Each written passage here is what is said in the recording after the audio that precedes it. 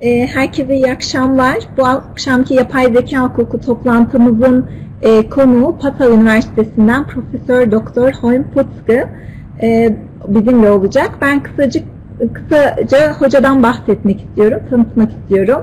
Pata Üniversitesi'nde Hukuk Fakültesi'nde ceza ve ceza muhakemesi hukuku e, hocası kendisi. Kendi alanında çok fazla e, çeşitli alanlarda ve önemli e, yayınları var. E, hatta e, tıp hukuku alanında e, yaralamayla ilgili Almanya'da e, önemli bir sünnet kararı e, verilip mevzuat değişmişti. E, hocanın görüşüne atıf yapılarak e, bu değişiklik e, gerçekleştirildi. E, yani uygulamayı da etkilemiş bir hoca. E, aynı zamanda ceza avukatlığı yapıyor e, ve e, siyasetle de yakından ilgili. Bugün bize e, oldukça uzman olduğu bir konudan bahsedecek. Ceza mahkemesinde yalan detektörü, yalan makinesi konusunu anlatacak. Hem geleneksel klasik yöntemlerden bahsedecek poligraf kullanımından hem de e, yeni e, modern metotlardan yapay zeka kullanımından bahsedecek sunumunda. E, ben kendisine şimdi davetimizi kabul ettiği için e, hocamızdan sonra e, teşekkür edip kısaca e, araştırma merkezimizi de Almanca tanıtıp sözü kendisine vereceğim. Sunum Almanca yapılacak fakat aralarda çevirisini yapacağım ben Türkçe'ye. Buyurun hocam.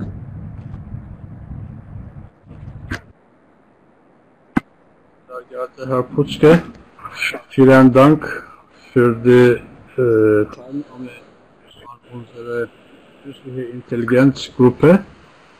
Wir freuen uns auf Ihre Erklärungen und äh, neue Erkenntnisse, die über Lügendetektor entwickelt hat. Ee, Ben bu akşam e, Profesör Putzke'yi ağırlamaktan çok memnunum. E, Çünkü kendisi e, yalan makinesi ile ilgili önemli sorunları olan değerli bir hoca. Fakat bunun e, yapay zeka ile bağlantısını kuran bir açıklama yapacak. E, bize katıldığı için çok teşekkür ediyorum. Sözü tekrar Zehra Hoca'ya Ja, Bitte. Herr, Herr Kollege Jenisej, ähm, Frau Doan, meine sehr geehrten Damen und Herren, ich äh, freue mich sehr, dass ich heute bei Ihnen einen Vortrag halten darf und ich sage ganz herzlich, Akşam Lasch. e, Profesör Putzke de bugün e, burada olmaktan e, çok memnun olduğunu e, söyledi. Herkese iyi akşamlar dedi. Äh, wir freuen uns ebenfalls, dass Sie unsere Einladung und Anfrage, heute einen Vortrag zu halten, äh, angenommen haben. Äh, vielen herzlichen Dank. Äh, ich möchte noch ganz äh, kurz, bevor ich Ihnen das Wort übergebe, unsere Forschungsgruppe vorstellen für Sie und eventuell auch für deutsche Zuhörer. Ähm, wir sind eine sehr junge, relativ neu gegründete Forschungsgruppe für künstliche Intelligenz an der Juristischen Fakultät der Bahçeşehir-Universität in Istanbul. Ähm, unter der Leitung von Herrn Professor Dr. Feridun Yenisey arbeiten wir uns noch in rechtliche Themen äh, rund um die künstliche Intelligenz ein. Ähm, wir beabsichtigen aber in Zukunft auch größere Projekte, auch insbesondere in Zusammenarbeit mit ausländischen und äh, deutschen Wissenschaftlern zu leiten und unser Netzwerk in diesem Sinne zu erweitern, ähm, weil die, insbesondere die deutsche Rechtswissenschaft sehr bedeutend ist für die türkische Rechtswissenschaft, ähm, weil die sozusagen eine Vorbildfunktion für uns hat. Äh, Sie sind unser erster Gast aus Deutschland. In den kommenden Wochen dürfen wir auch weitere deutsche Wissenschaftler wie äh, Herr Professor Hegendorf aus Würzburg oder Frau Professor Rotalski aus Köln begrüßen. Ähm, so viel zu unserer Forschungsgruppe. Ähm, Sie werden uns heute über die Lügendetektion im Strafverfahren aufklären. Wir sind sehr gespannt auf Ihren Vortrag. Bitte schön, ähm, Sie haben das Wort. Frau Doan, haben Sie ganz herzlichen Dank für die Einleitung und Herr Jenisej auch für die freundlichen Worte. meine sehr geehrten Damen und Herren, das Thema lautet Lügendetektoren im Strafverfahren. Und ich möchte zunächst einen Überblick geben über die Vortragsgliederung. Ich beginne mit einer Einleitung und werde dann eingehen auf die Funktionsweise und die Methodik bei polygraphischen Untersuchungen. Und ich werde mich vor allem zwei Aspekten widmen, das ist der klassische Lügendetektor, der Polygraph, und das ist eine KI-basierte Software. Und auf beides gehe ich ein, wie das funktioniert. Anschließend gebe ich einen Überblick zur Rechtslage in Deutschland, werde aber auch ein bisschen Einblicke geben in andere Länder, wie dort die Praxis sich darstellt. Und schließlich gehe ich ein auf Einwände, die diskutiert werden, weil die KI-basierte Software und auch die Lügendetektion natürlich nicht ganz unproblematisch ist. Und anschließend werde ich noch ein Fazit formulieren. E, kısaca sunum içeriğinden bahsetti bize Profesör Putzke. Ceza muhakemesinde yalan detektörü, yalan makinesi e, olarak daha çok e, geçiyor literatürde. e, bu konuyu anlatacak. Kısa bir giriş e, yaptıktan sonra da e, bu e, poligrafik inceleme metodunu aktaracak. Fakat iki yöntemi hem geleneksel klasik poligrafı anlatacak hem de yapay zekaya dayanan e, yazılımlardan bahsedecek. İkisini de e, aktaracak bize ve Alman hukukundaki durumdan, e, yargı kararlarından e, bahsedecek ve sonrasında bununla ilgili tartışmalar, sorunlar nedir, neden bu yönteme itiraz ediliyor veya neden kabul edilmesi gerekir gibi e, argümanları ortaya e, koyacak. Bitteschön. Zunächst einmal ein paar Worte, wie ist die Ausgangssituation? In einem Strafverfahren geht es darum, die Wahrheit zu ermitteln. Das ist aber schwierig. Und das ist vor allem dann schwierig, wenn wir wenige Beweismittel haben und wenn diese Beweismittel auch noch Zeugen sind. Denn die Zeugen, die sind die unzuverlässigsten Beweismittel. Sie irren sich und sie lügen auch sehr oft. Und trotzdem hat der Zeuge in einem Strafverfahren, ich denke, das ist in der Türkei nicht anders als in Deutschland, eine bedeutende Rolle. Der Zeugenbeweis, der ist für die Gerichte ganz gewichtig. Vor allem dann, wenn natürlich Aussage gegen Aussage steht. In der Vergangenheit hat man deshalb überlegt, wie kann man denn den Beweis führen? ganz früher, in manchen Rechtsordnungen gibt es das heute noch. Da hat man die Zeugen gezählt und da hat man gesagt, naja, wenn zwei Zeugen oder drei oder vier etwas sagen, dann muss das die Wahrheit sein. Das ist eine Beweisregel. Später hat man versucht, mit Folter die Wahrheit herauszufinden. Heute noch, bei manchen Geheimdiensten sind Wahrheitsserum-Anwendungen praktiziert. Und schließlich geht es auch um Hypnose. Aber alle diese Ansätze oder die meisten davon, die sind nicht vereinbar mit den Rechten eines rechtsstaatlichen und rechtsstaatlich zu behandelnden Beschuldigten. Zum Beispiel Folter, die ist verboten. Und diese Varianten, die ich eben genannt habe, die können wir teilweise nicht anwenden und deswegen ist man auf die Suche gegangen auch nach neuen. Şimdi genel bir bilgi verdi bize konuyla ilgili. Ceza muhakemesinin amacı maddi gerçeğin araştırılmasıdır. Fakat bu her zaman çok kolay değildir. Çünkü e, tanık beyanına başvurulması gerekir ve Alman ceza muhakemesinde tanık beyanı aslında çok e, önemli bir e, delildir. Fakat tanıklar en güvenilemez e, delil araçlarıdır. Çünkü hem e, yalan söylerler hem de e, yanılırlar dedi. Ancak yine de e, tanık beyanları çok önemli olduğu için özellikle beyana karşı beyan söz konusu ise e, bunların e, kullanılması gerekir ve eskiden buna ilişkin e, de bir takım yöntemler vardı.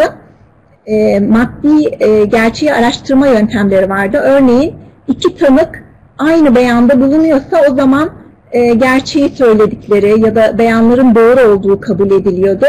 Veya daha farklı yöntemler söz konusu kısmen de istihbarat uyguluyor dedi. Örneğin e, serum verilerek narko analiz dediği yöntemden bahsetti ve e, şu anda uygulanmayan e, iş, e, işkence yönteminden bahsetti veya hipnoz yönteminden bahsetti. Fakat bu yöntemlerin çoğu da ceza muhakemesi kanunu ile e, bağdaşmaz yasak yöntemlerdir dedi.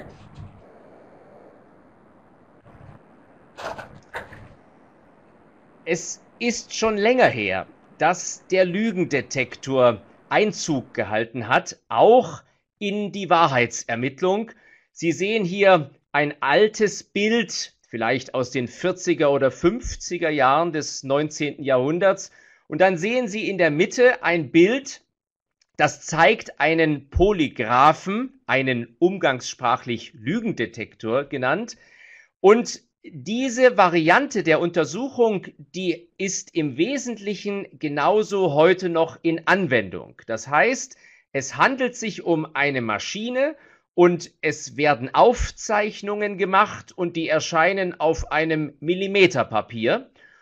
Und heute gibt es dann noch die Variante, dass man das Ganze in einem Computer sichtbar macht. Das sehen Sie dann auf der rechten Seite. Aber die Methodik und die Funktionsweise, die hat sich seit vielen Jahrzehnten bei dem klassischen Polygraphen nicht verändert. Ich werde gleich noch erläutern, wie das funktioniert. Wen Sie übrigens hier in der Mitte sehen, das ist Professor Dr. Udo Undeutsch. Das ist derjenige, der in Deutschland den Lügendetektor revolutioniert hat und der diese Methode auch in der Rechtsprechung populär gemacht hat. Professor Udo Undeutsch ist ein Pionier auf diesem Gebiet gewesen. Und schließlich haben wir neben dem klassischen Lügendetektor seit ein paar Jahren auch noch neue Formen der Lügendetektion, nämlich KI-basierte oder KI-gestützte. Das wird gemacht mit einer Software. Sie sehen hier zwei genannt, iDetect und Dare. Das wird kombiniert mit einer Kamera und einem Mikrofon. Und in Zukunft wird auch darüber nachgedacht, das mit einer Wärmebildkamera und bildgebenden Verfahren zu kombinieren. Ich werde gleich noch näher auf die KI-basierte Lügendetektion eingehen. Evet, yalan e, dedektörünün aslında çok eskiden beri e, bilinen bir yöntem olduğundan bahsetti. En soldaki siyah beyaz resim 1940'lı yıllara ait. O zaman e, daha vardı e, bu yöntem, bu makine dedi. Ve ortadaki resimdeki hocadan bahsetti. Profesör Doktor Udo Undeutsch e, içtihatlara poligrafı tanıtan kişidir ve o görselde görünen e, makinede poligraftır ve hala geleneksel olarak bu şekilde kullanılır. Yani elde ettiği e, verileri o kağıda aktarır. E, sağda da ekrana aktarılmış e, görüntüsü var bunun. Bir de daha son yıllarda daha çok konuşulmaya, tartışılmaya başlayan daha modern bir yöntemden bahsetti. Yapay zeka destekli sistemlerden bahsetti ve bu bağlamda iki tane yazılım varmış. iDetect bir de Dare diye iki yazılımdan bahsetti. Bunlar kamera ve mikrofonu birleştirerek e, tespitte bulunur. E, özellikle vücut ısısı e, kameraları gibi yöntemlerden bahsetti. Yeni yöntem olarak. Ich widme mich zuerst der KI-basierten Lügendetektion. Wie funktioniert so etwas? Es wird eine Kamera verwendet und ein Mikrofon und es wird die Voice-Stress-Analyse durchgeführt und die Gesichtsscan-Analyse. Das heißt, die Kamera, die zeichnet die Mimik im Gesicht auf und das Mikrofon die Sprachmelodie, also die Sprache. Und dann wird eine Software eingesetzt und die wertet mit Hilfe eines großen Datenpools aus, ob es Hinweise darauf gibt in der Mimik oder auch in der Sprache, ob es Hinweise gibt auf unwahre Aussagen. Die Software, die hat einen großen Datenpool und man hat in sehr vielen Gerichtsprozessen Aufnahmen gemacht von Beschuldigten und Zeugen.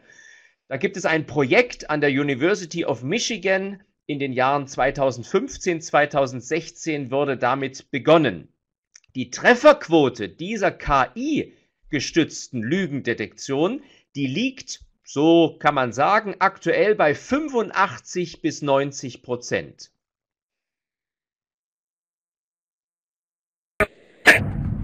Öncelikle yapay zeka destekli yalan makinesinden bahsetti.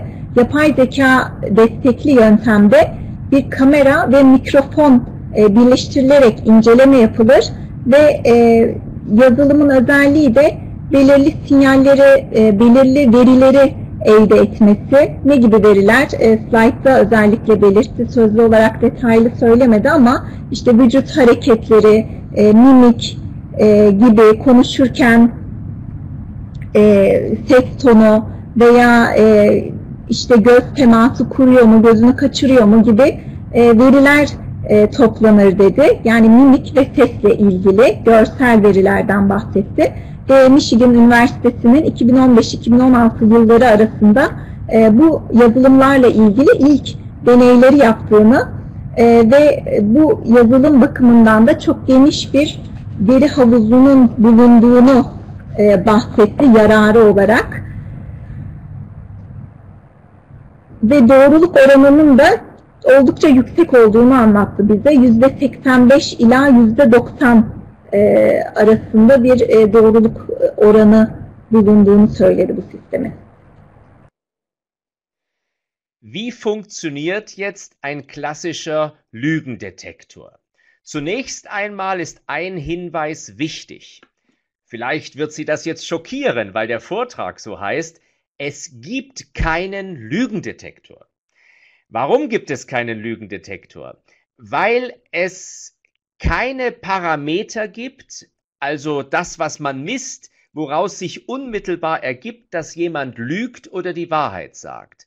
Dazu benötigt man einen Sachverständigen, der das interpretieren muss also ein klassischer Lügendetektor, so schön es wäre, den haben wir noch nicht gefunden. Wir brauchen eine Software oder eben einen Sachverständigen, der das Ganze dann auswertet und bewertet. Wie funktioniert ein Lügendetektor? Ich nenne ihn weiterhin so. Wie funktioniert der? Es werden in der Regel vier Parameter gemessen. Dazu gehört der Blutdruck, die Atemtätigkeit, der Hautwiderstand, also ob man schwitzt, und die Blutfülle in den Kapillaren an den Fingerspitzen. Das wird gemessen und weil das mehrere Parameter sind, nennt man das auch Vielschreiber, also Polygraph. Es gibt also mehrere Parameter, die aufgezeichnet werden. Und es gibt dann zwei verschiedene Varianten, die man einsetzen kann, den Tatwissen und den Vergleichsfragentest, die ich sogleich erläutern werde. E, bu slaytta da klasik yöntemden bahsetti. Yani geleneksel yöntem e, poligraftan bahsetti. E, yalan dedektörü olarak da bilinen. Ve şunu söyledi, belki şaşıracaksınız çünkü sunum konusu bu. Ama aslında yalan dedektörü diye bir şey yoktur dedi. Çünkü e, poligraf sadece teknik e, anlamda yardımcı bir araçtır. E, bu araç ile bir takım parametreler ölçülür. E, bu da kişideki duygusal değişimlere bağlıdır. E, fakat bu parametrelerin bir bilir kişi tarafından değerlendirilmesi gerekir veya yapay zeka tarafından bir yazılım tarafından değerlendirilmesi gerekir. Yani tek başına e, yalan veya doğru gibi tespitlerde e, bulunmaz e, bu poligraf. Bundan bahsetti. E, ne gibi parametreler ölçülür? Örneğin kişinin nefes alıp verme hareketleri, kişinin e, nefes alırken e, göğsünün e, hareketi e, ölçülür. Tansiyonu ve tansiyondaki değişimlere bakılır. E, ve damar sinirleriyle ilgili aktivite ölçülür. Kişinin parmak e, ucundaki deriden kılcal e, damarlardaki kan yoğunluğu vesaire ölçülür. Bundan bahsetti ve birden çok parametre e, esas alındığı ölçüldüğü için de bu cihaza poligraf denir. Yani poli çok demek, birden çok. Grafta e, yazıdan, yazma fiilinden geliyor. Yani çok sayıda veri e, yazılır o görselde gördüğümüz kağıda. E, ve bu bağlamda e, iki türden e, soru e, yöntemi vardır dedi. Şimdi ondan bahsedecek. Zunächst ganz kurz zu dem Tatwissentest. Man will herausfinden, ob jemand etwas über die Tat weiß. Und wenn das der Fall ist, spricht das dafür, dass er der Täter ist. So stellt man demjenigen in der Regel sechs Fragen und eine Antwort ist richtig und enthält Tatwissen. Und es hat sich gezeigt, wenn jemand bei dieser Frage dann eine Antwort gibt und wahrheitswidrig antwortet, dass der Polygraph dann ausschlägt und das aufzeichnet und man erkennen kann, dass jemand etwas von der Tat weiß. Dieser Test funktioniert aber nur in einem sehr frühen Stadium, also ganz am Anfang des Ermittlungsverfahrens, Später weiß man natürlich aus dem Prozess, aus der Berichterstattung viel über die Tat, dann funktioniert der Test natürlich nicht mehr.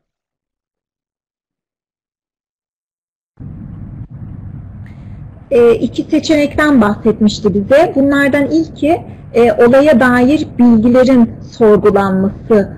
E, burada amaç olayla ilgili kişiye olayla, sorgulanan kişiye olayla ilgili detay bilgiler sorulur ve bu detay bilgileri de normalde e, sadece failin bilebileceği konulardır. Buna ilişkin detay bilgisi var mı e, diye soru sorulur. Varsa fail olduğu tespit edilebilir. Nasıl bir yöntemdir, e, nasıl gerçekleşir? Önce isnat edilen suçla ilgili ne bildiği sorulur ve nereden bildiği araştırılır.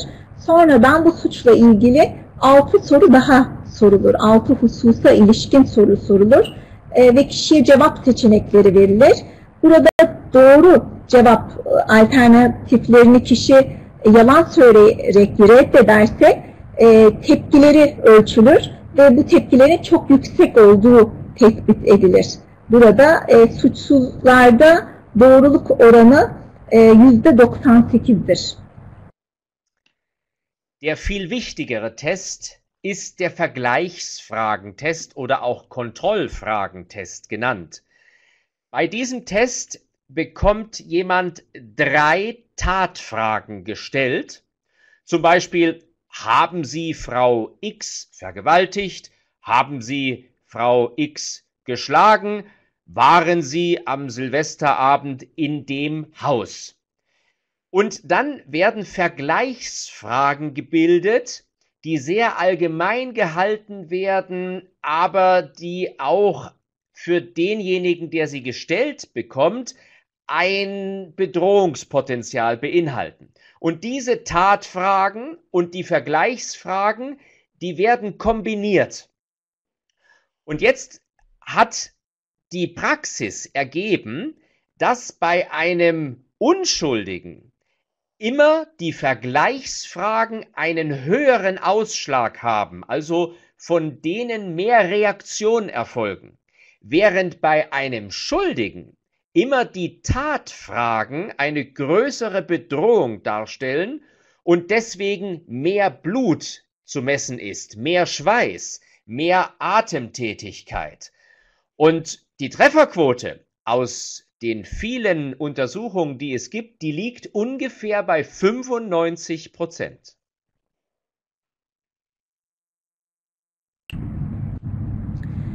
Bir diğer seçenek de e, karşılaştırmalı ya da benzer, olaya ilişkin benzer soruların sorulması. Bunlara kontrol sorusu da deniliyormuş.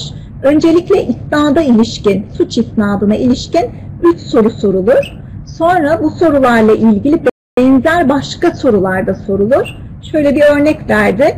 Örneğin sorgulanan kişiye işte bayan X'e cinsel saldırıda bulundunuz mu sorusu sorulur.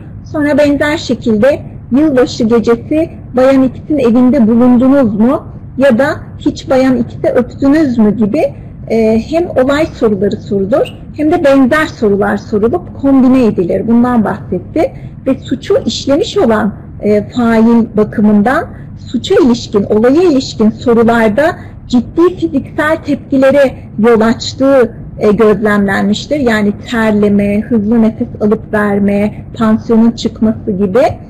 E, fakat benzer sorularda masum kişilerde ciddi tepkilere yol açmaktadır. Bu yöntemle de kişinin masum veya suçlu olduğu belirlenebilmektedir. Bu yöntemin doğruluk e, oranı da %95'tir. Wer dies bis hier gehört hat, der wird bestimmt denken, eine so tolle Methode wird bestimmt angewandt in Deutschland. Aber nein, sie wird es nicht. Ich glaube sagen zu können, die Richter haben Angst vor dieser Methode. Die Richter haben Angst vor polygraphischen Untersuchungen. Warum? Ja, möglicherweise, weil sie das Gefühl haben, dass sie dann nicht mehr selber entscheiden dürfen. Ich gebe einen kurzen Überblick über die Rechtslage bzw. die Rechtsprechung in Deutschland. Schon 1954 hat der Bundesgerichtshof die Verwertung des Ergebnisses einer polygraphischen Untersuchung für unzulässig erklärt. Und zwar hat er gesagt, das verstößt gegen die Menschenwürde. Der Untersuchte kann seinen freien Willen nicht mehr äußern und auch nicht mehr betätigen. Man schaue in seinen Kopf, man schaue in seine Seele hinein mit diesem Apparat. Und das war den Richtern damals suspekt. Das Verfassungsgericht, das Bundesverfassungsgericht, das hat 1981 nicht mehr die Menschenwürde bemüht, aber es hat gesagt, es verstößt gegen das Persönlichkeitsrecht. Jeder hat ein Persönlichkeitsrecht. Und wenn man an einen Apparat angeschlossen wird, ist dieses Recht verletzt, auch wenn man sich dadurch entlasten möchte. Das Bundesverfassungsgericht hat also 1981 noch gesagt, selbst wenn du dich entlasten möchtest, lassen wir diesen Test nicht zu für dich.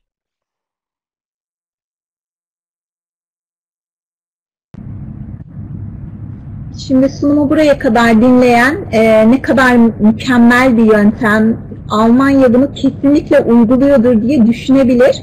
Fakat e, uygulamıyor. E, Alman hukukundaki durumdan bahsetti. E, buna dair iki tane önemli mahkeme kararından bahsetti. Bunlardan ilki Federal Yüksek Mahkemenin 1954 tarihli kararı. E, bu kararda mahkeme şöyle değerlendiriyor e, bu yöntemi e, şüpheli ve sanığın adeta kafasına, ruhuna e, bakılıyor ve şüpheli sanık burada iradi e, bir davranışta bulunmuyor. Bu yöntem e, insan onuru ile bağdaşmaz diyor.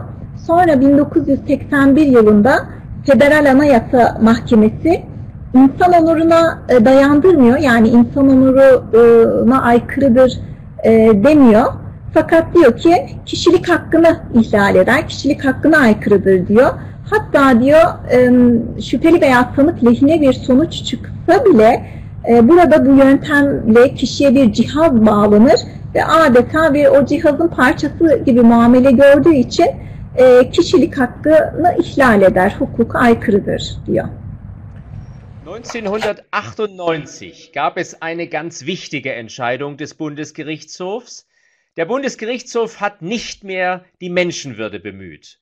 Er hat auch nicht mehr das allgemeine Persönlichkeitsrecht als verletzt angesehen. Also gegen die Menschenwürde verstößt es nicht mehr und es verstößt auch nicht gegen das allgemeine Persönlichkeitsrecht, wenn das freiwillig geschieht und zur Entlastung verwendet werden soll. Ich möchte an dieser Stelle nochmal betonen, der Lügendetektor darf nicht eingesetzt werden, um jemanden die Schuld nachzuweisen, dass er ein Täter ist. nur zur Entlastung. Nur darum geht es, freiwillig zur Entlastung. Aber der Bundesgerichtshof hat 1998 und bekräftigt 2010 gesagt, es handelt sich um ein völlig ungeeignetes Beweismittel. Das heißt, der Bundesgerichtshof hat gesagt, es funktioniert nicht. Wir haben keine valide Datenbasis. Die Studien sind nicht da und deswegen wird das Ganze nicht angewandt. Das Bundesverwaltungsgericht hat das 2014 noch einmal aufgegriffen und hat gesagt, das ist richtig, wir können das nicht als valides, zuverlässiges Beweismittel verwenden.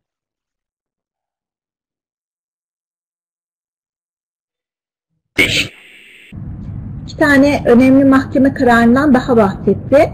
Biri e, Federal Yüksek Mahkemenin 1998 tarihli kararı, bir de benzer bir karar 2010 yılında verilmiş. Bu kararlarda e, her ne kadar bu yöntemin insan onuru veya e, kişilik hakkına aykırı olduğu söylenmese de e, elverişsiz bir ispat aracı olduğu söylenmiştir. Yani anayasaya aykırı değildir fakat işlevsel değildir, elverişsizdir, uygun bir ispat aracı değildir demiş e, Federal Yüksek Mahkeme. Sonra 2014 yılında Federal İdare Mahkemesi de memurların ma, yargılanması bakımından yine aynı sonuca varmıştır. Bu yöntem elverişsizdir ve bu An dieser Stelle könnte man meinen, jetzt ist es Zeit aufzuhören mit dem Vortrag, weil wenn der Bundesgerichtshof, wenn das Bundesverfassungsgericht, wenn das Bundesverwaltungsgericht, das heißt oberste Gerichtshöfe in Deutschland sagen, das ist nicht zulässig, dieses Beweismittel, na dann ist es zu Ende. Aber weit gefehlt. Seit 2013 gibt es, sogar schon 2011, gibt es eine Entwicklung, die ist bemerkenswert. Nämlich an den unteren Gerichten wird die polygraphische Untersuchung angewandt. Und da gibt es ein Gericht, das hat hier Rechtsgeschichte geschrieben, nämlich das Amtsgericht in Bautzen. Das hat 2013 in einer Strafsache zum ersten Mal gesagt, die polygraphische Untersuchung mittels eines Lügendetektors die ist zuverlässig und die ist auch zulässig. Und es hat einen Angeklagten freigesprochen. Ich muss allerdings ergänzen, der Ehrlichkeit halber, in diesem Strafverfahren war ich der Verteidiger. Das heißt, ich habe in diesem Strafverfahren ein polygraphisches Gutachten vorgelegt und ich habe auf Basis meiner Veröffentlichungen mich dafür eingesetzt, dass diese Methode angewandt wird. Und manchmal geschehen Wunder, das Gericht hat sich überzeugen lassen. Und das Gericht ist unabhängig gewesen und es hat gesagt, das, was der Bundesgerichtshof gesagt hat, das interessiert mich nicht, hat der Richter gesagt. Ich entscheide unabhängig und ich finde, diese Methode ist überzeugend und das Gericht hat seit 2013 in mehreren Entscheidungen, insgesamt in drei Entscheidungen, die letzte 2018 die polygraphische Untersuchung angewandt und für zulässig erklärt. Es geht aber noch weiter. Nicht nur die Strafgerichte wenden sie an, nein, auch die Familiengerichte und nicht nur Amtsgerichte, das sind die untersten Gerichte, sondern sogar Oberlandesgerichte. Das sind die Gerichte, die in Familiensachen die höchsten sind. Und in anderen Sachen wäre der Bundesgerichtshof noch drüber, aber die Oberlandesgerichte in Familiensachen, die haben wirklich Gewicht. Und da gibt es zwei Oberlandesgerichte, die inzwischen polygraphische Untersuchungen zulassen.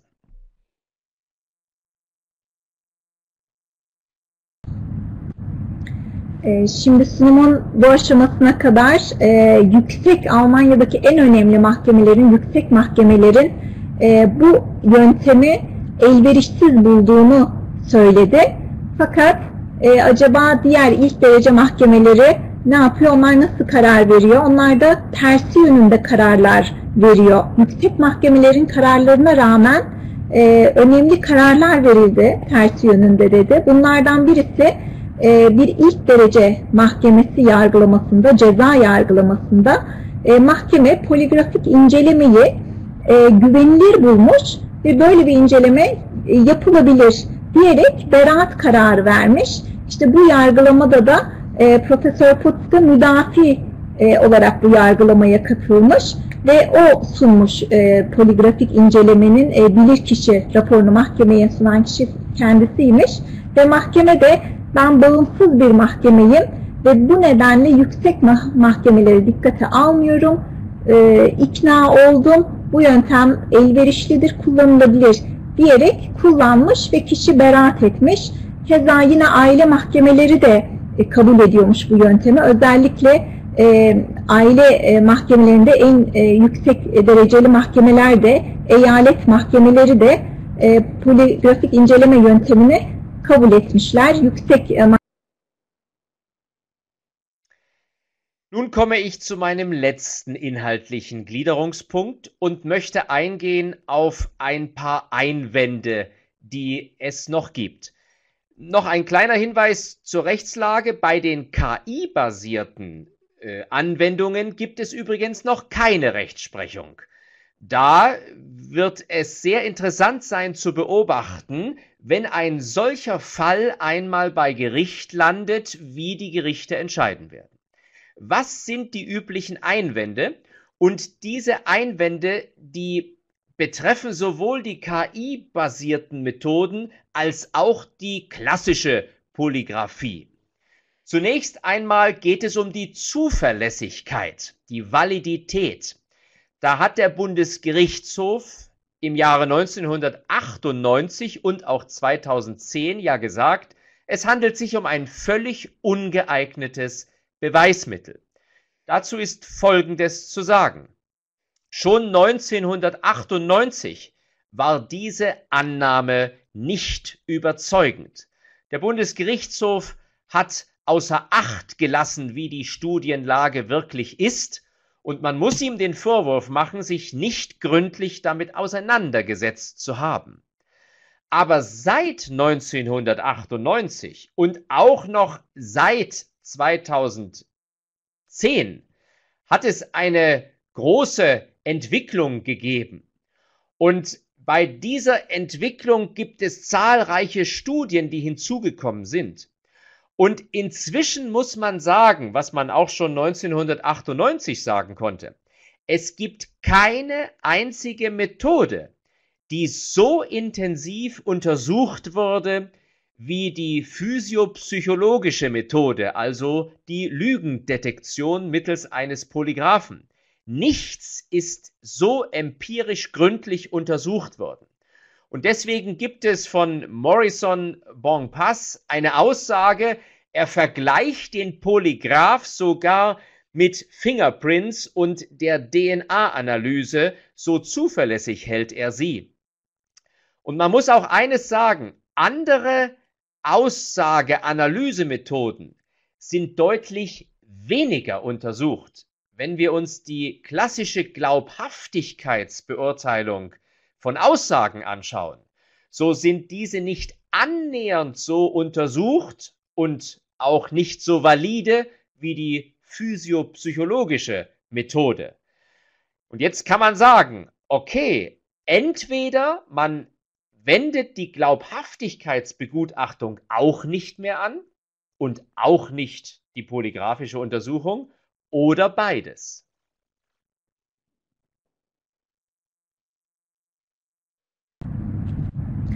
Ee, kısa bir ekleme yaptı bu slaytın başında hukuki durumla ilgili. Yapay zekaya dayanan e, sistemler bakımından henüz hiç e, yargı kararı olmadığını söyledi. Ve sonra e, poligraf yöntemi bakımından ne tür itirazlar var e, bunları açıkladı. Az önce bahsettiği Federal Yüksek Mahkemenin 1998 ve 2010 e, yıllarında bunu elverişsiz bir e, araç olarak nitelendirdiğini ve fakat daha bu iddianın 1998 yılında bile isabetsiz olduğunu söyledi. Klasik yöntem bakımından. Çünkü e, bu yöntem çok o tarihte bile çok gelişmiş bir yöntemdi ve çok fazla e, tecrübe edilmişti. E, bu kadar tecrübe kuralları ile denenmiş olan başka hiçbir yöntemde yoktur beyan delilleri bakımından söyle, e, bunu söyledi. Yani tecrübe kuralları ile bunun elverişli bir yöntem olduğu sabittir dedi. E, ve hatta diğer yöntemler yani e, yalan söyleyip söylemediğine ilişkin insanların yaptığı diğer yöntemlerden bahsetti. Bu da inandırıcılık e, raporundan bahsetti. Yani bir insanın e, sorgulanan kişiyle ilgili bir bilir kişi raporu hazırlaması, böyle bir yönteme başvurmadan inandırıcılık raporu hazırlamasını bakımından bu kadar inceleme yapılmadığını, bu kadar tecrübe bulunmadığını e, söyledi ve bu bağlamda e, poligrafla yapılan incelemenin en e, çok tecrübe edinen, en uygun yöntem olduğunu söyledi. Hatta e, bunun el izi ve DNA gibi e, adli bir araç Der zweite Einwand ist immer noch die Menschenwürde. Aber da muss man ganz ehrlich sagen, es ist schon zynisch, jemandem zu sagen, du musst lebenslang ins Gefängnis, um deine Menschenwürde zu schützen. Und deswegen darfst du einen Entlastungsbeweis, der mit einer großen Wahrscheinlichkeit deine Unschuld beweist, nicht anwenden. Das ist zynisch und ähm, auch nicht verständlich, dass man mit Blick auf die Menschenwürde eine solche Entlastung dem Beschuldigten oder Angeklagten ausschließt. Und noch ein Gedanke. Es ist zulässig, heute mit Einwilligung einer Person eine Kastration vorzunehmen. Wenn aber das zulässig ist und nicht gegen die Menschenwürde einer Person verstößt, dann darf man auch bei polygraphischen Untersuchungen nicht die Menschenwürde ins Feld führen. Das ist nicht überzeugend. Bei der KI-basierten Software ist es übrigens ein bisschen anders. Man hat ja die Menschenwürde Verletzung argumentiert und begründet damit, dass man an einen Apparat angeschlossen wird, dass man in die Seele hineinblickt die KI-basierte Software, wo man die Stimme auswertet, wo man die Mimik sich anschaut, die blickt nicht in die Seele. Das ist kein Apparat, an den jemand angeschlossen wird. Und deswegen wird es schwierig, dort einen Verstoß gegen die Menschenwürde anzuführen, so wie man das bei dem klassischen Lügendetektor gemacht hat.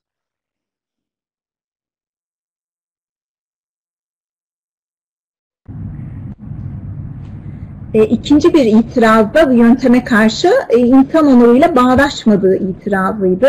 Burada şunu söylüyor, masum birisine onun insan onurunu korumak için lehine çıkan bir sonucu kullanmamak son derece hatalı olurdu diyor. E, bunu kişilik hakkına veya insan onuruna e, dayandırmak e, doğru değildir diyor. Ve şöyle bir karşılaştırma yapıyor e, eğer cinsel suç failleri bakımından kastrasyon e, objektif olarak insan o, onuruyla bağdaşır e, diyebiliyorsak ki Almanya'da buna ilişkin açık bir düzenleme var. O zaman e, bu yöntem evliyetle bağdaşır insan onuruyla diyor. E, yapay zeka yöntemi ama biraz daha farklıdır diyor. Çünkü insan onuru argümanı neye dayandırılmıştı? İşte cihazın, klasik yöntemin, poligrafın kişinin vücuduna temas edip bağlanması ve onun e, ruhuna adeta ruhuna zihnin içine bakması e, ile açıklanmıştı insan onuru ile bağdaşmaması. E, fakat yapay zeka bakımından e, kişinin vücuduna takılan herhangi bir şey yok. E, bedendeki dışsal değişimler gözlemleniyor yapay zeka ile. E, bu da bir yardımcı araç ama tıpkı hakimin beş duyu organıyla gözlemlediği gibi yapay zekada kişiye dokunmadan gözlem yapıyor. E, cihaza bağlanmadığı için bu anlamda Und noch fünf kurz weitere Einwände. Zunächst einmal wird gesagt, man müsse den Angeklagten oder den Beschuldigten schützen vor falschen Ergebnissen.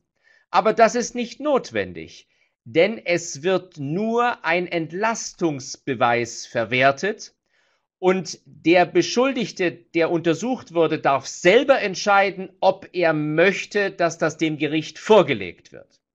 Zweiter Punkt, das sogenannte Friendly Examiner Syndrom. Man sagt, wenn derjenige weiß, dass dieses Ergebnis nur vorgelegt wird, wenn es ihn entlastet, dann fehlt die Bedrohlichkeit der Fragen. Aber auch da gibt es Studien, die belegen, dass das nicht stimmt, diese Annahme. Und schließlich noch ein Punkt, die sogenannte Manipulationsgefahr bei diesen Untersuchungen. Da gibt es zwei Möglichkeiten. Die erste Möglichkeit bei einem Polygraphen, dass man besonders aktiv ist, dass man nicht still sitzt, dass man stört. Dann aber funktioniert der Entlastungsbeweis nicht. Sobald ich mich bewege und aktiv bin, funktioniert die Aufzeichnung nicht mehr und damit also auch nicht die Entlastung. Und zweitens gibt es noch den Einwand Biofeedback-Training. Das heißt, man kann das trainieren an einem Polygraphen. Aber da muss man ehrlich sein. Es ist leichter, einen Zeugen zu beeinflussen oder zu bestechen, als einen Polygraphen zu überlisten. Das ist kompliziert. Vielleicht gelingt das jemandem vom Geheimdienst. Das vielleicht. Aber normal muss man das trainieren. Und für einen erfahrenen Untersucher ist es sichtbar aufgrund der Aufzeichnung, wenn jemand versucht, das zu manipulieren.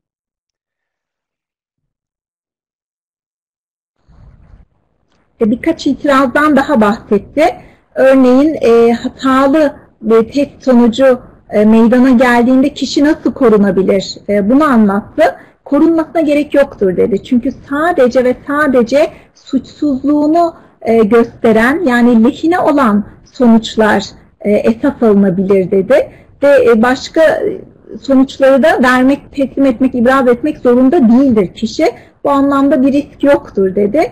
Bir de dostane sorgucu sendromundan bahsetti. Yani sorgulanan kişiye sadece suçsuzluğuna ilişkin e, elde edilen e, bir sonucun değerlendirileceği söylendiğinde e, yine de kişinin kendisini tehdit altında hissettiğini e, söyledi.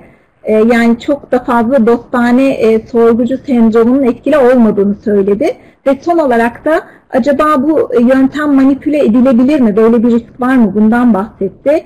Yani test esnasında birisi araya girdiğinde bu kullanılamaz, e, değerlendirilemez, yanlış sonuçlar ortaya çıkar dedi.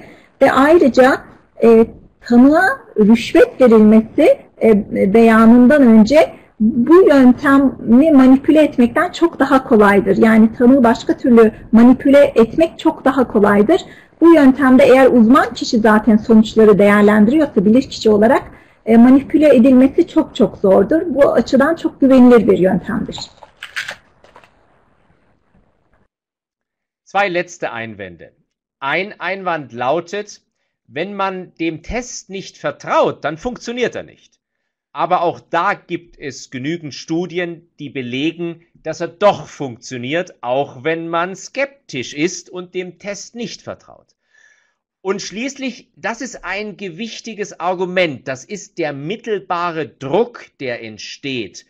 Also wenn jetzt bei Gericht jemand ist und der sagt, na, ich vertraue trotzdem dieser Methode nicht, vielleicht funktioniert sie nicht, ich möchte das nicht machen, dann lautet der Einwand, wenn das sonst zugelassen ist, es jemand aber nicht machen will, dann macht er sich dadurch verdächtig. Also es wird ein mittelbarer Druck erzeugt dadurch, dass es zulässig ist. Aber da muss man sagen, das ist ja auch so, wenn jemand von dem Schweigerecht Gebrauch macht.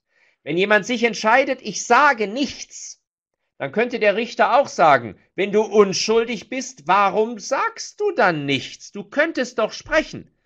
Also dort entsteht ja auch ein mittelbarer Druck.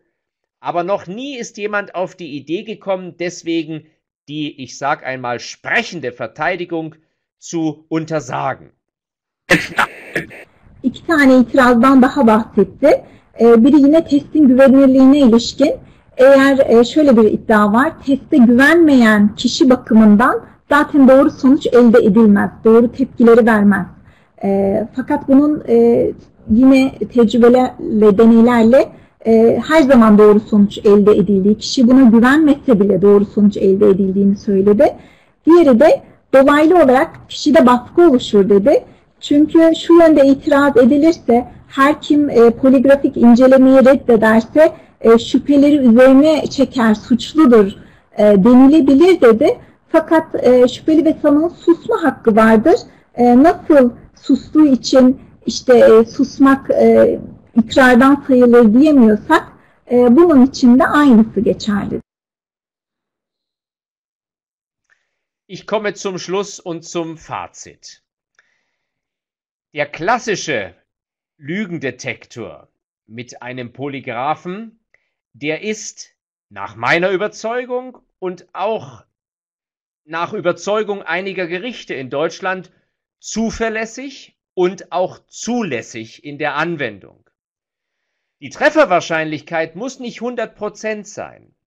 Selbst wenn sie nur 90 ist oder auch 80 wäre, es genügt ja Zweifel, vernünftige Zweifel an der Schuld von jemandem zu begründen.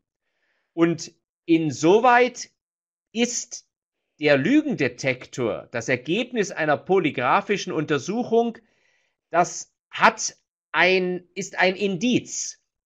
Und es gibt noch andere Indizien, aber es ist eines unter vielen. Es ist kein absoluter Beweis, aber es kann dazu beitragen, die Wahrheit zu ermitteln. Bei der KI-basierten Lügendetektion stehen wir noch sehr am Anfang.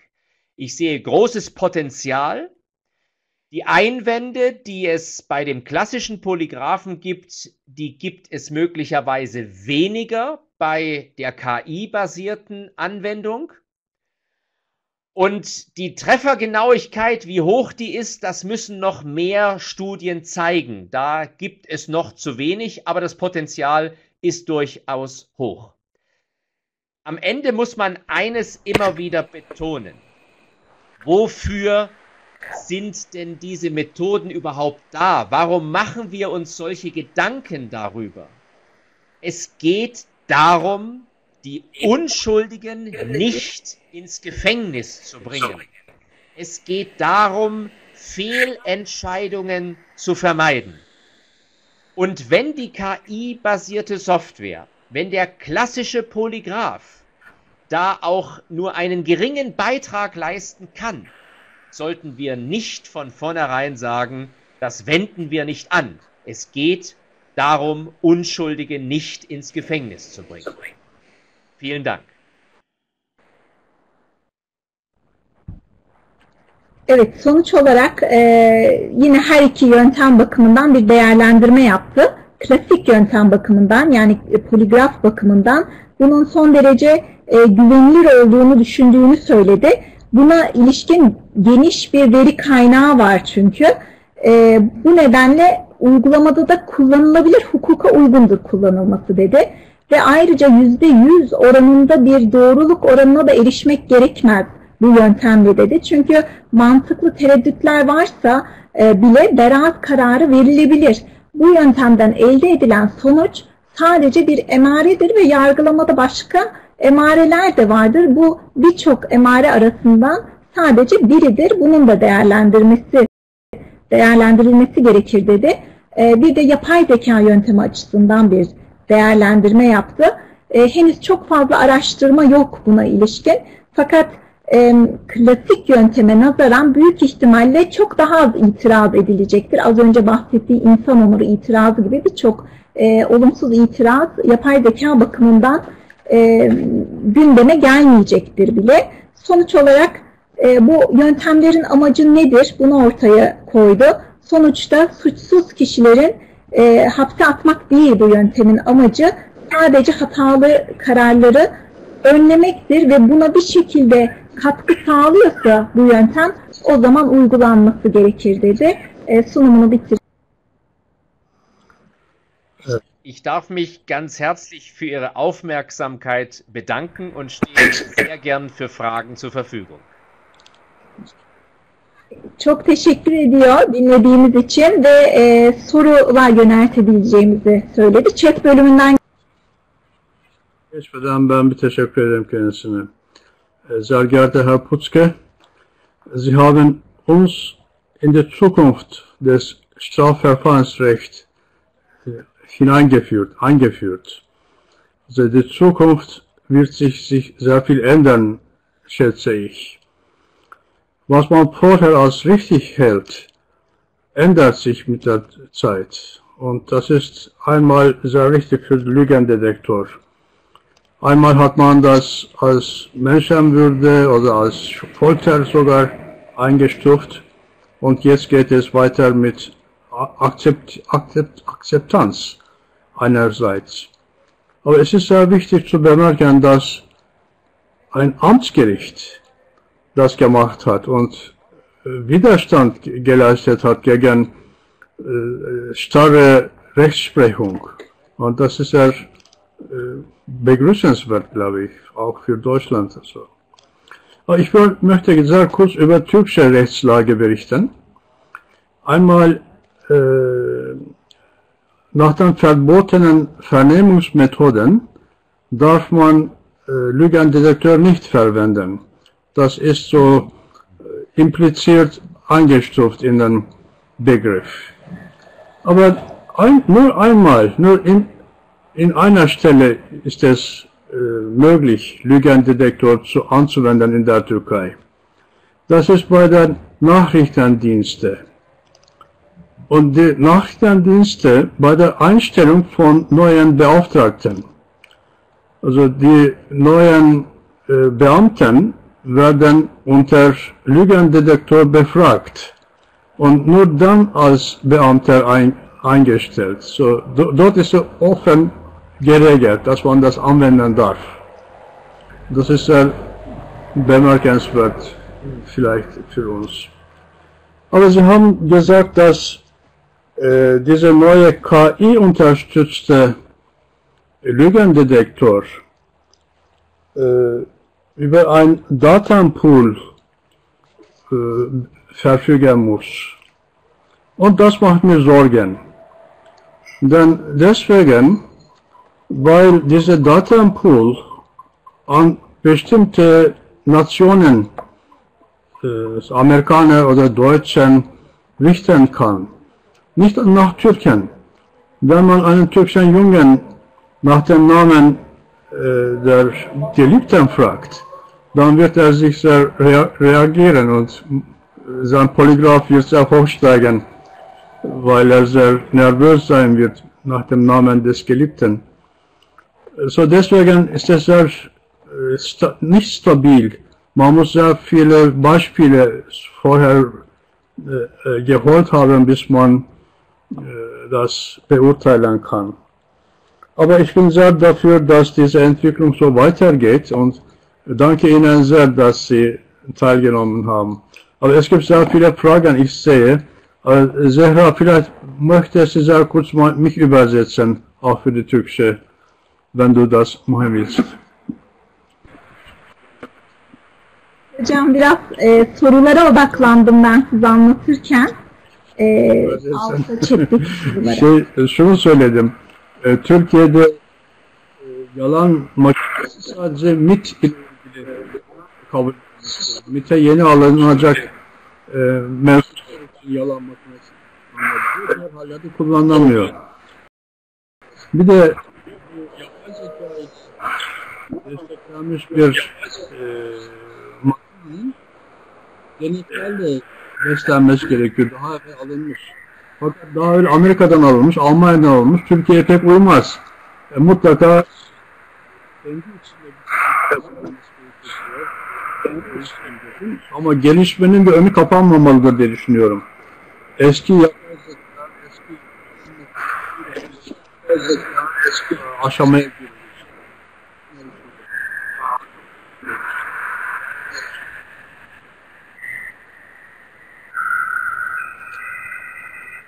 So zu den Fragen vielleicht äh, in der Chatbox.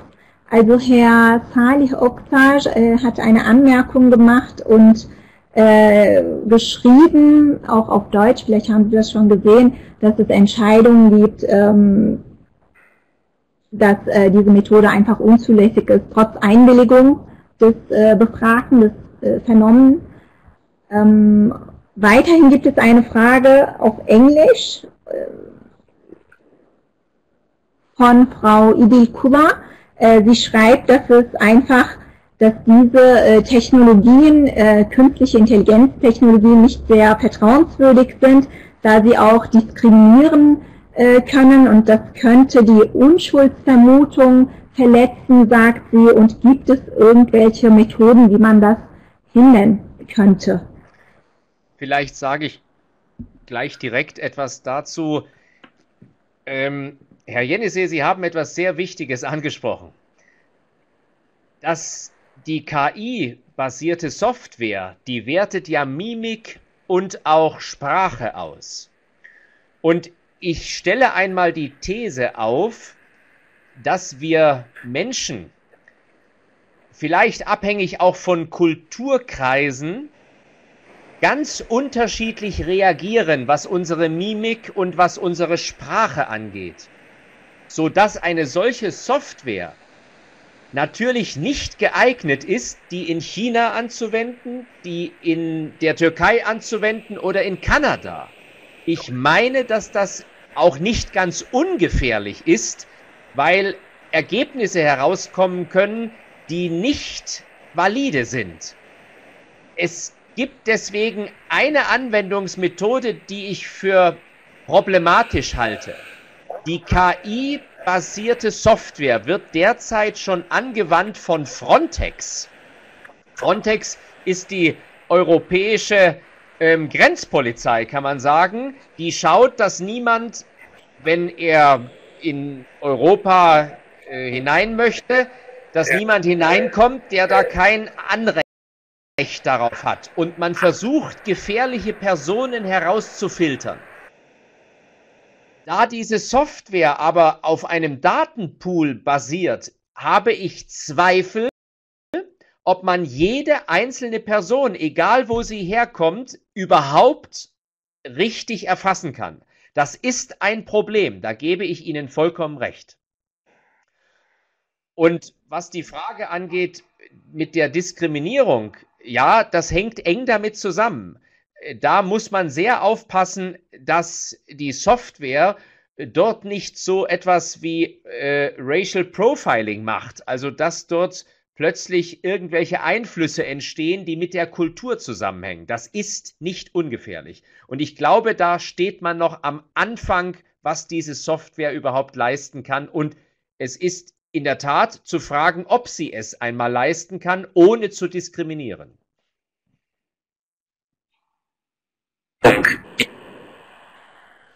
İki yorum yaptı. hocamızın e, bahsettiği konuyla ilgili e, hocamıza hak verdi. E, ve bir tez ortaya koydu. Yapay zeka evet mimik e, vücut dili dili değerlendiriyor dedi ama acaba tek bir yazılım birçok ülkede kullanılabilir mi? Şunu iddia ediyorum dedi. İşte Çin'deki e, bir kişinin tepkileri, mimikleri, vücut dili, ses tonu işte başka Kanada'daki e, birisinin tepkilerinden farklıdır. Bu nedenle bir yazılım, bir ülkede kullanılan yazılım başka bir yerde kültürel farklardan dolayı e, hatalı sonuçlar verebilir. Bu açıdan çok e, sakıncalı bulduğunu söyledi ve Avrupa Sınır Polisi'nin böyle bir yazılım kullandığını söyledi. Frontex'ten bahsetti. Burada sınır kapısında kişiler e, ülkeye giriş yaparken e, bu yazılımın e, değerlendirdiğini acaba bu kişi ülkeye giriş yapabilir mi, hakkı var mı, o kişiyle ilgili sorun var mı? Bu değerlendirmeyi yapan e, bir yazılımın bulunduğunu ve fakat e, kendi bahsettiği e, kaygılardan dolayı, o farklardan dolayı giren her kişi bakımından sağlıklı sonuç elde edilemeyeceğini e, söyledi. İdil Hanım'ın ayrımcılıkla ilgili acaba yapay zeka ile yapıldığında ayrımcılığa açar mı e, sorusuyla ilgili de evet bu olabilir dedi.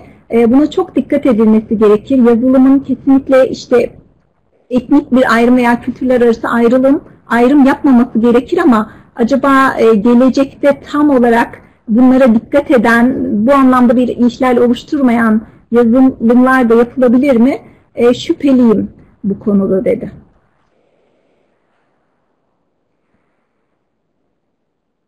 Ich äh, schaue noch, ob es weitere Fragen gibt. Eine Frage auf Deutsch von Herrn Bodo-Berkay Gensch. Ähm, er fragt, ob der EuGH äh, für Menschenrechte, äh, ob es wahrscheinlich Entscheidungen gibt, einen Ansatz zur Verwendung des Lügendetektors heißt es, ähm, ob es da schon eine Beurteilung, eine Mir ist da nichts Aktuelles bekannt, dass der EGMR sich damit schon einmal beschäftigt hat. Ich schließe das aber nicht aus, dass das kommen wird, weil die polygraphischen Untersuchungen werden zum Beispiel in Belgien angewandt. Und sie werden zum Beispiel auch in Polen angewandt. In Polen übrigens, was ich für höchst bedenklich halte, auch zur Belastung, also für einen Schuldnachweis.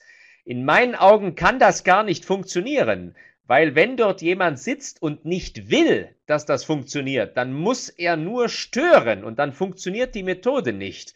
Es sei denn, man setzt ihn unter Druck und sagt irgendwie, wenn du nicht mitmachst, dann kommst du für zehn Jahre ins Gefängnis. Aber ich halte es für hochbedenklich und für nicht zulässig, den Polygraphen einzusetzen, um die Schuld nachzuweisen. Äh, Zehra, yaptığını sorayım. Was halten Sie von äh, Gruppenanalysen? Äh, wenn, wenn jemand in einem Dorf äh, Tatverdächtigen zu äh, bestimmen. Hat man auch so Gruppen äh, freiwillig. Wer das nicht freiwillig macht, wird als verdächtig eingestuft. Das ist so ähnlich wie Lügendetektor. Was meinen Sie dazu? Ich habe nur Teile ich verstanden. Teile, ich habe auch nur Teile verstanden. Ich glaube, es geht darum, dass man, wenn äh, in einem Dorf eine Tat begangen wird, dass man das ganze Dorf äh, befragt, eine Gruppenanalyse macht, eine freiwillige. Ähm, ich glaube, so war die Frage, oder, Herr Professor Jenissey, ob diese dann zulässig sein sollte. Orada da tabi olmayan şüpheli durumuna düşüyor. Yani burada da tabi olan tabi olmayan ayrı. Weil dann jeder plötzlich als äh, Beschuldigter äh, angesehen wird in diesem Fall. Ja. Also es gab mal ähm, einen Fall, da hat, da gab es drei Verdächtige. Und da hat die Staatsanwaltschaft gesagt, also wir bieten euch einen Lügendetektortest an und wenn ihr den besteht, dann kommt ihr nicht in Untersuchungshaft. Zwei haben ihn gemacht und haben ihn bestanden und sind nicht in Untersuchungshaft gekommen. Der, der ihn nicht machen wollte, ist in Untersuchungshaft gekommen. Ja, so etwas gibt es. Aber wir haben das ja jetzt auch schon. Es gibt ja auch, wenn wir beispielsweise Fälle haben in Deutschland, wo man weiß, es ist eine schwere Straftat passiert, ein Mord.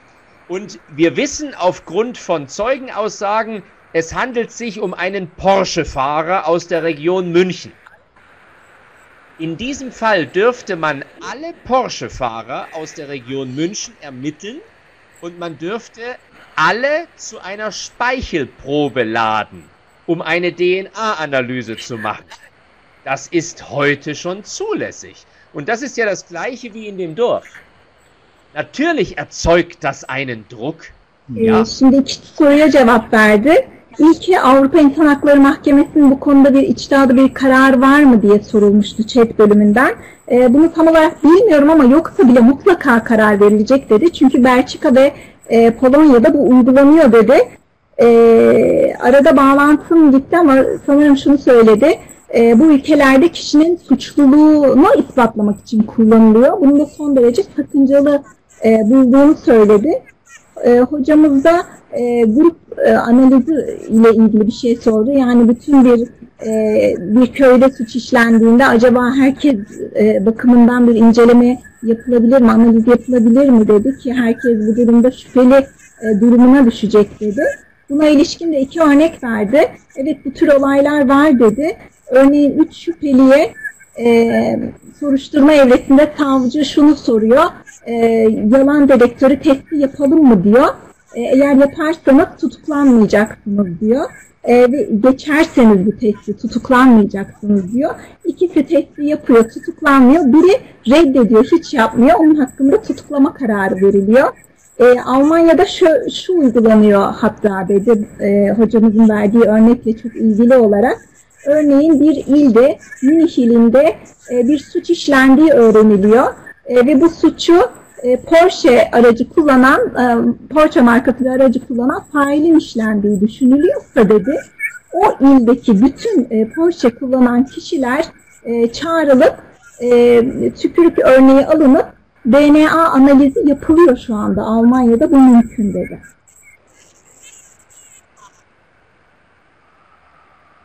Ich schaue ganz schnell, ob es noch weitere Fragen gibt.